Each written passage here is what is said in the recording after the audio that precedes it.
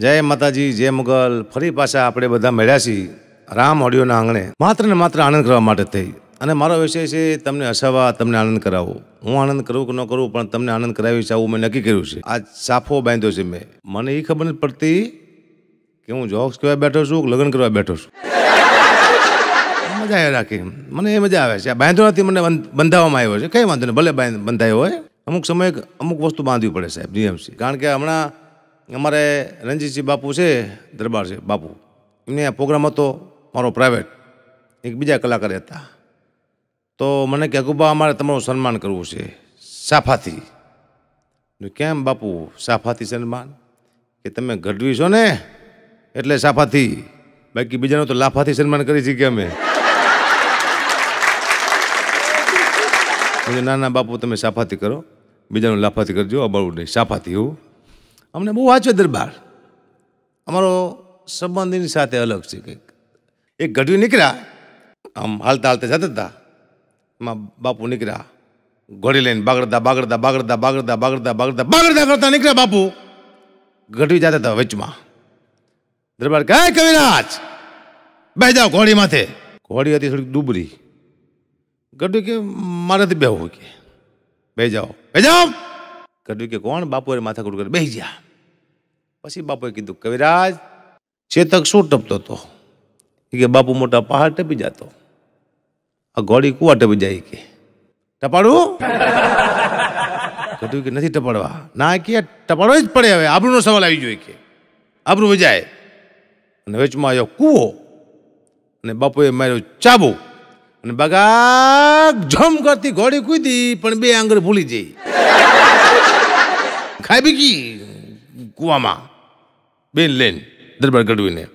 પણ બાપુ હતા હોશિયાર નીચે પડતા પડતાલા કૂવામાં ઝાડના વેલા હતા ને, બાપુએ પકડી લીધા, બાપુ લટકે. ગઢવી બાપુ કરતા હોશિયાર હતા. નીચે પડતા પડતા બાપુના પગ પકડી લીધા. નીચે ગઢવી લટકે. પછી કીધું દરબારે કે, હે કવિરાજ, એક વાર્તા માંડો. ગઢવી કે, બાપુ, વાર્તા ન મળે, બરોબર? નીચે પડશું મરી જઈશું. અહીંથી નીકળવાની વાત કરો. દરબાર કે, વાર્તા માંડો છો કે ઝાડવા મૂકી દો કે? ગઢવી કે બાપુ, ઝાડો ન મૂકતા? પકડી રાખો, બરાબર? પકડી રાખો, હું વાર્તા માંડું છું. અને ગઢવીએ વાર્તા શરૂ કરી. બનિંગ કે બેઠ કે બોલે, ઝણિંગ કે સાઈડ કે બોલે જંજુવા કે ટુવા થયા. આંધાણા નાના નાના ના ના થાળ. દરબાર કે વાહ, કવિરાજ, વાહ. તળિયા સુધી કરી ગયા તળિયા સુધી કરી ગયા. કૂવો ગોજારો થઈ ગયો. પાણી હુકી ગયું. કૂવો છે ઓલા બે નથી લો. તો અમારે બહુ મારે કુદરતી પણ મારા જોક્સમાં શું છે? બાપુનું લેવલ ઊંચું હોય જોક્સમાં મારે. હજી મેં કોઈ દેવો જોક નથી કીધો કે બાપુનો કોઈ ગાંઠલો પકડ્યો. નહીં બાપુ જ કોકનો પકડ્યો હોય. તો પછી બાપુને વાંધો શું હોય? કારણ કે એક શેઠ હમણાં નીકળ્યા બાપુ પાસેથી. બાપુ જેવી મોજડી પહેરી કે બાપુ હું તમારા જેવો લાગુ છું? બાપુ કે થોડોક ફેર છે. "હો, હજી કે. બાપુ જેવી ઘોડી લઈને આવ્યા. કે બાપુ, હવે હું તમારા જેવો લાગુ છું? બાપુ હજી થોડોક છે. બાપુ જેવી બંડી પહેરીને આવ્યા કે, બાપુ, હવે હું તમારા જેવો લાગુ છું? બાપુ હજી થોડોક ફેર છે. છેલ્લે બાપુ જેવો સાફો પહેરીને આવ્યા, પાઘડી પહેરીને. કે બાપુ, હવે હું તમારા જેવો લાગુ છું? બાપુ, કે હજી થોડોક ફેર છે હો. કે બાપુ, હવે શું ફેર છે? બાપુ એક લાફો માર્યો શેઠને. કે તું મને માર. કે બાપુ, હું ન મારી શકું. બસ કે આટલો જ ફેર છે. જાજો ફેર નથી. બાપુ કરે એવું કોઈ કરે જ નહીં. મને ખબર નહીં. આ બધું સાહિત્ય, વાતુયું, બોલવું, બધી અઘરી વસ્તુ છે. નથી બોલાતી. બોલો તો ભૂલી ભૂલી જાઓ છો. ભૂલ થઈ જાય છે. સમય પ્રમાણે હાલવું પડે છે. હાસ્ય એક એવું વસ્તુ છે કે હાસ્ય નાના બાળકથી લઈને વૃદ્ધ સુધી, સંતોથી લઈને મંતો સુધી, ભગતથી લઈને આખી જગત જેને સાંભળતું હોય એવો એક જ રસ હાસ્ય રસ ગાંડો હોય દાંત કાઢે છે. તો આપણે બધા ડાયા છીએ. ગાંડાને જો મજા આવતી હોય દાંત કાઢવાની, તો આપણને મજા ન આવે. આવી જ જોઈએ. હમણાં મને યાદ છે કે મેં ભજન ગાયું હતું. કે શું પૂછો, શું મુજને, કે હું શું કરું છું? મને જ્યાં ગમે ત્યાં હરું છું, ફરું છું. નથી બેક મને આ જગતમાં કોઈની. ફક્ત એક મારા પ્રભુથી ડરું છું. મને જ્યાં ગમે ત્યાં હરું છું ફરું છું. ઓડિયન્સમાંથી એક જણો ઊભો થયો. મને કે બાપુ હું ગાઉં? મેં તો ગાવ આ જ ભજન એને ગાયું? તેને એની રીતે ગાયું? કે શું પૂછો શું મુજને? કે હું શું કરું છું? બેઠો બેઠો ગામના નરિયા ગણું છું. નથી બીક મને યા મારા હગા બાપની. નથી બીક મને યા, મારા હગ બાપની ફક્ત એક મારી વહુથી ડરું છું. મને અને હારા હારા બીવે છે. બધાને કહું છું, શાંતિથી જીવવું હોય, બી જઈજો. બીજાનું જિંદગીમાં આધુનિક વસ્તુ આવી જઈ છે, ટેકનોલોજી. હું તો દેશી માણસ છું, મને ટેકનોલોજી બોલતો નથી આવડતો હજી. હું પણ છતાંય બધી ટેકનોલોજીનો ઉપયોગ હું કરું છું. ફોનથી લઈને બધી વસ્તુનો હું ઉપયોગ કરતો હોય છું. હવે ગાડીઓ નીકળી છે, તમે જોઈજો ભટકાય ને એક્સિડન્ટ થાય એટલે ફુગા થાય અંદર. ફુગા થાય ને તમે મરો નહીં, બચી જાઓ. આવી ગાડીઓ મેં જોઈ છે, મોંઘી આવે છે. હજી તમે પાંચ, દસ વરા જવા દો. હજી એવી ગાડીઓ આવશે કે આમ એક્સિડન્ટ થાય છે અને તમે બહાર પડશો ને તો ફુગા તમારી વાંહે દોડશે અને અંદર લઈ જાઓ અંદર. તમે પૈસા આપ્યા, તમને નહીં મરવા દેવાના. ઓછામાં ઓછો દોઢ કિલોમીટર ફુગા તમારી વાંહે દોડશે ક્યાં જાશ? પડ્યા એટલે તમને પકડી લે ફુગાઈ અંદર કંપનીએ કીધું છે, આ કોઈ મરવા જોઈએ નહીં. એ ફુગા આવશે આ બધી હિસાબ છે, જોકે જોકો ભાઈ. હમણાં એક મારા આપણે ગામમાં આવતા તમે જોયા છે લોટ લેવા આવે, સીતારામ કહીને. તો એક મહારાજ ગયા ઘરે. સીતારામ, તે બહુ હતા ઘરમાં. કે, મારા હાવ ઘરે નથી. મહારાજ, હું કંઈ નહીં આપી શકું. તો મહારાજ પાછા વળી ગયા અને બીજા ગામ જતા હતા. એમાં વચમાં એક નદી આવી. ત્યાં ઓલા વહુના હાવ ભેગા થઈ ગયા. કા મહારાજ? ક્યાંથી આવ્યા ગામમાંથી. માછી ઘરે ગયા હતા કે? હા. વહુએ ક્યાંય આપ્યું કે ના પાડી મને કે? મારા હાવ નથી હું ન આપું. હાલો કે પાછા. મહારાજને બી પાછા આવ્યા ઘેરે. આવીને વહુને કે, આ મહારાજને તમે ના પાડી લોટ આપવાની? કે આ બા તમે નહોતા ને કે મેં કીધું મારે હાવ નથી, હું નહીં આપું? પછી હાવે કીધું કે, મહારાજ, વહુ શું ના પાડતી હતી? હું ના પાડું, જાઓ લોટ નથી કેવું મહારાજનું મગજ ચક્ર કીધો કે પહેલા અહીંયા ચોટલી કઢાઈ હોત તો વાંધો શું હોત રહ્યું અદભુત છે આ બધું હા, એક ભાઈ મગજ લેવા નીકળ્યો. મગજ. મગજ પડ્યા હતા આ બધા લાઈનમાં કે આ મગજના કેટલા રૂપિયા? કે દસ હજાર રૂપિયા? ગેરંટી એક વર્ષની. આ મગજના કેટલા? કે વીસ હજાર રૂપિયા? ગેરંટી કે ત્રણ વર્ષની આમ કરતાં કરતાં કરતાં એક મગજ કાચની પેટીમાં પડેલું. ઓલો કે, ઓલા મગજના કેટલા? કે, દોઢ લાખ રૂપિયા. ગેરંટી કે, એક દિનની પગથિયા ઉતરો એટલે વાર્તા પૂરી. કે, કાં? એ કે, નેતાનું મગજ છે. મારે રાજકારણ મને બહુ ગમે. મને ગમે જ રાખે. કારણ કે મંત્રી નીકળ્યા, ગાડી લઈને. કાંઈ, કાં જતા હતા એમાં આગલા વ્હીલમાંથી નટ બોલ નીકળી જાય ગાડી ઊભી રહી જાય, બ્રેક મારી દીધી વ્હીલ પડી ગયું એક બાજુ મંત્રી માથે હાથ ઊભેલા. એમાં ગાંડો આવ્યો હું થયું કે સાહેબ? જોઈ કે, જોયું? ગાડી બંધ પડી જઈ, વ્હીલ નીકળી ગયું છે, નટબોલ બધા નીકળી ગયા, હવે ઘરે કેમ પહોંચવું? ગાંડાએ સલાહ આપી કે એક કામ કરો સાહેબ તમે, બધા વ્હીલમાંથી એક એક નટબોલ કાઢી અને નાખી દો આ વ્હીલમાં, ઘર સુધી પહોંચી જઈશો. પછી મંત્રીએ કીધું, તું તો એલા ગાંડો છું ને? કે હું ગાંડો છું, મંત્રી નથી. મંત્રી અદભુત છે. ઘણા બધા. હમણાં હું જોયો તો જુનાગઢ પરિક્રમા તમે બધા જોઈએ છે. જુનાગઢ પરિક્રમા ફરવી પડે. તો સારું થાય એવું બધા કહે છે. હું જોતો ફરવા. એક બેન હતા મારી બાજુમાં આવેલા હતા cut cut cut cut cut. મને કે ભાઈ? મેં તો શું? આ પદયાત્રા, યાત્રા ક્યાંથી શરૂ થઈ? શું? કે આપણે હાલી છે ને પદયાત્રા? એ ક્યાંથી શરૂ થઈ કે? કીધું, બેન, પગ આવ્યા ત્યારથી જાઓ. સાચી વાત છે ભાઈ હોય કે પગ ત્યારથી થઈ ગયું? હા, હરેક વસ્તુ પગ આવે પછી શરૂ થાય છે. મને એક સવાલ કરેલો, કારણ કે મારે લગભગ મેં મારા બાપુને જમીનના બહુ જોખ કીધા. મારા બાપુએ બધું વેકી નાખ્યું ને મને ઘણું દુઃખ છે. બહુ દુઃખ છે. પણ અત્યારે હમણાં એટલો બધો વરસાદ થયો, કપાસ ભરી ગયો, તલ ભરી ગયા, ખેડૂત રાડું પાડે છે, મગફળી ભરી જઈ ખેડૂત કે અમારે દેણા થઈ ગયા અમારે માથે. તારે મને આનંદ થયો પાછો. ત્યારથી મારા બાપાએ જમીન વેચી નાખીને કે મારે પાછું આ દેણું થઈ જાત ને કીધું એક વીઘો નથી, પણ જો હવે ચિંતા કરી. કાંઈ નહીં, બાપુ ઓકે ઓકે જતા એમ મને એક ભાઈ મને કીધું, મને કે બા તમારા બાપુને આ જમીન વેચવાનો વિચાર આવ્યો ક્યારથી? મેં તો સમજવા શીખ્યા ત્યારથી. વેચી જ મારી એક વીઘો રાખવી જ નથી, જેટલી છે બધી વેચી નાખું.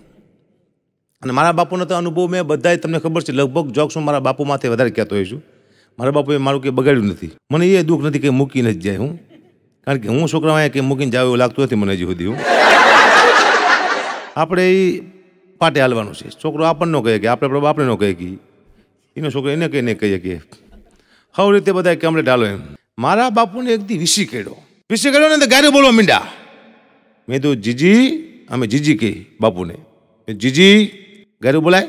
દરબારનું ગામ છે, આપણું. કેટલું ખરાબ લાગે અહીંયા? મને કે, શું કરું? પીડા થાય છે રહેવાતું નથી મારાથી તો હું શું કરું? મને કે, થોડુંક લઈ આય. એ તો અત્યારે ચાલ લેવા જવું પછી ત્રીસ વર્ષ પહેલાં વાત કરું, ત્રીસ વર્ષ, મારી ઉંમર કે આઠ નવ વર્ષ નથી, તારની વાત કરું. કે, થોડુંક લઈ તો મને એમ થયું, મેં જો, થોડુંક પીવે ને, પીડા ઓછી થાય. એ જાણે હું ત્રણ દેશની થેલી લઈ આવ્યો દસ રૂપિયામાં આવતી આપ્યો ત્રણ થેલી પીધી ને, તે વીસી ઉતરી ગયો ને દારૂ ચડી ગયું, બોલો. તો ગાયરું તો બોલ્યા જ તોય. બે બાજુ ગાયરું ઓલી પીડાની હતી, આ પીધાની હતી. મેં મારા બાપુને પૂછ્યું, મેં બાપા તમે જે પીવો છો, એ શોખનો પીવો છો? મને કે, બેટા, પહેલા શોખનો પીતો, હવે થાકનો પીવો છું. હવે જમીન નથી ને, કામ કરવાનું આવ્યું. દારૂ બે પ્રકારના આવે, એક શોખનો પીવાનો એક થાકનો પીવાનો આવે. માણસ અમુક કામ કરીને આવે ને, થાકી ગયો, પછી એક થેલી પીવે ને, ઉઈ જાય, થાક ઉતરી જાય. અમુક માણસ શોખના પીતા હોય. શોખના પીવે ને, એની સારું એ કશું ન રહેવા દે. થાકનો હારો. પણ કોઈ ના પાડું દારૂબારો કોઈ પીતા નહીં, વ્યસનથી દૂર રહેજો, આ તો આનંદની વાતું છે, બાકી દારૂ બારૂ પીવાય નહીં. હમણાં એક ભાઈનો મને ફોન આવ્યો મને કે અકાબા ઓલા ગમનભાઈ શાંતર નહીં કલાકાર? મેં તો હા, એનો નંબર છે. આપો નહીં કે. તે મેં વારા ફરતી લખાયા, નવ નંબર લખાયા મેં. મને કે, આટલા બધા નંબર? મેં તો હા, પણ એક લાગશે નહીં કીધું તે. તો કે, શું લેવા લખાય? મેં તને એમ થાય કે આ લોકો આપતા નથી, હું? પંદર મિનિટ મારી પથારી ફેરી, પહેલાં ના પાડી દેજો નહીં કે. નહીં લાગી. મારા દરબાર સંબંધ હારા, મોજ આવે, અને દરબારો બધા સામે બેઠા છે એટલે મને વધારે આનંદ આવે. ટાવદર ગામ છે. નરેન્દ્ર- નરેન્દ્રસિંહ છે મારા મિત્રો. એ હમણાં વાત કરતા હતા એમના ઘરમાં. હાલો હાલો હાલો. મેં કીધું, શું છે બાપુ? અરે કે ટાવર નથી આવતો? મેં કીધું, તમારે આ ટાવર આવે? ક્યાં? તમે સો કોણ? કોણ? દરબાર, મર્યાદા હોય કીધું ઘડવી દરબારની. આપણે ખુદને આપણા ઘરમાં હોય તો આપણે ખોખરા ખાવા પડે. ઓહો ટાવરની ઓકાત છે આપણા ઘરમાં કરીએ કે? એ વાત થાય હો. તો મર્યાદા રાખે આર્યાઈ આખી દુનિયાના સમાજ આપણી મર્યાદા રાખીએ ઘડી દરબારની. તો ટાવરને ખબર ન પડે એટલી કે આપણે દરબાર ઘડી ઘરમાં ન કરાય આપણે અમારા ઘરમાં ટાવર ઓછો જ આવતો હોય. ટાવર, પૈસા, આ બધું ઓછું આવે મને હમણાં મારો એક પ્રોગ્રામ હતો ડાયરો. તો એક ભાઈ હતા, કોઈક મહેમાન આવ્યો, મહેમાન તરીકે. સંત હતા એમની આશ્રમમાં પ્રોગ્રામ હતો. એક ભાઈ આવ્યા હતા કેરલાથી શિષ્ય એમના, સંતના. એમને કે, બોલો તે બે શબ્દ બોલવા માટે ઊભા થયા. એને કીધું કે, આવો કેરલા આવો. કેરલા આવશો તો તમને બહુ મજા આવશે. અહીંયા એવી પ્રકૃતિ છે તમે ઘરની બહાર નીકળશો, તરત તમને ટાપુ જોવા મળશે. પાછો અડધો કિલોમીટર હાલશો, તમને ટાપુ જોવા મળશે. અમારે થોડાક થોડાક, ડગલે ડગલે અમારા કેરલામાં નકરા ટાપુ જ છે. પછી મારો વારો આવ્યો. મેં ભાઈએ બહુ સરસ વાત કરી. કે તમે બહાર નીકળશો તો કેરલામાં ટાપુ જોવા મળશે. મેં કીધું, આવો મારા ગામ હળવદમાં. તમને સીધા બાપુ જોવા મળશે. મહેન્દ્રસિંહ રણજીતસિંહ અમારે બાપુ, તમારા ટાપુ. બરાબર? આટલો બધો ફેર છે અમારે. મને એક ભાઈ કહેતા, મને કહે તમે છૂટા સિંહ જોયા હે? ક્યાં છૂટા સિંહ છૂટા ફરતા હોય. હું ગઢવી છું. સિંહ આરે મેં વારું કરેલા હે. સિંહ યાર વારું કર્યા તો વારું કરી અમે. ક્યારે? મેં આજે જ કરવાનો છે. આવું હે? હા? તમને કઈ સિંહ કરે ને મને કઈ સિંહ ન કરે. એ, આયા મારે હારે. તમે જમવા બેઠા થઈ કે ક્યાં? સિંહ ક્યાં? મેં આ બેટા રણજીતસિંહ, વિક્રમસિંહ. આ બધા સિંહ છે. કે આ સિંહ, આ જ સિંહ અમારે. સિંહ હારે વાતું કરી. અમારો નિયમ છે. હમણાં બે કવિ બાજા કવિ કોઈ દી બાજે નહીં. પણ બેજા એટલે મેં કીધું કેમ એટલે બાજો? એક કવિએ મને કીધું કે મેં છે ને અકુબા આની કવિતા સાંભળી. આ મારી કવિતા નથી સાંભળતો કે. સાંભળ સાંભળવી પડે હા કીધું બેને વારા પરથી સાંભળવી પડે. આ દગો કહેવાય કવિ થઈને દગો કરો કીધું. ઓલો કવિ કે તમને ખબર છે કે દે કરો મેં શું? મેં એને જે કવિતા કીધી ને આ એ ત્રણ લીટીની હતી.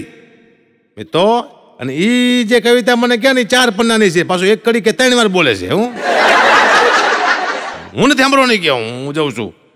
જા જા, વયો જા, કીધું છું. કવિ અદ્ભુત છે. હમણાં એક કવિ ઝાડ નીચે બેઠે બેઠો ઝાડની કવિતા લખતો. ઝાડ સીધું કવિની માથે પડ્યું હળીમ દઈને. કવિ રાજ પડજો કે, હે ઝાડ. કવિએ ઝાડને કીધું કે, હું તારી કવિતા લખું છું, બેઠો બેઠો, અને તું મારી માથે પડ્યું, તને શરમ નથી આવતી? ઝાડ કે, તને શરમ નથી આવતી? કવિને કીધું ઝાડે. તને શરમ નથી આવતી કા? કે કોઈ દી એક ડોલ પાણી પાયું છે કે ના, તો શું નકરી કહેવાય તો દે દે કરે છે. એટલે પહેલાં કૂકને પાણી બાણી પવાય, પછી કવિતાઓ કરાય. હા, અમુક વાર કોઈ માણસને તમારે નોર્મલ નહીં સમજવાનું.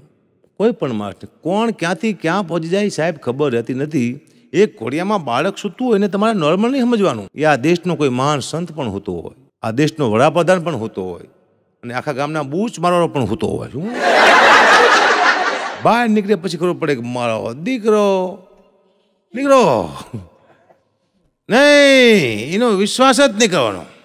મને ખબર ન હોય મને ખબર હોય. હમણાં હું હોટલમાં જમવા ગયો, એટલે હું મારું કેવું છે, મારું ટાઈમ ટેબલ કંઈક જમવાનું છે નહીં. હું તો બે દી એકવાર ખાઉં છું, આ તો આખા દીમાં એકવાર ખાઉં છું. ટાઈમ ટેબલ નથી. હોય? ન હોય. હોટલમાં હમણાં હું જમવા ગયો, એટલે મેં કીધું, ભાઈ ચાર ઢોસા લાવો. કેટલા જણા? મેં બે જણા છીએ અને બે ઇડલી લાવો.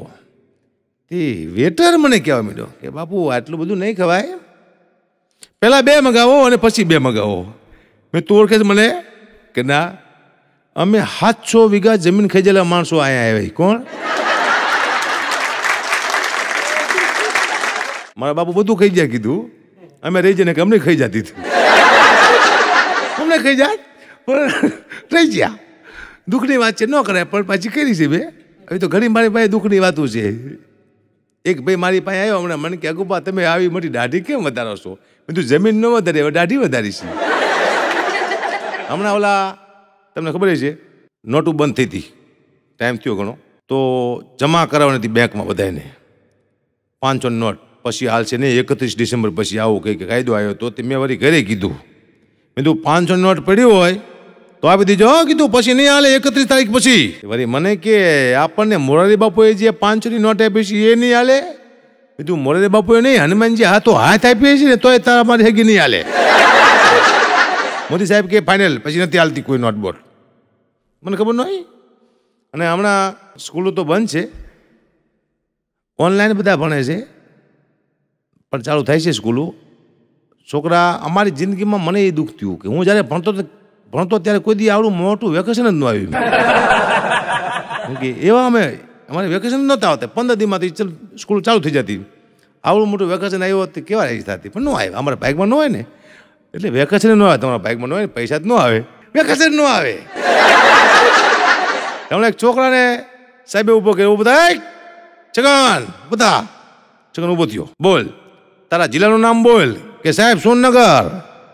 બોલ.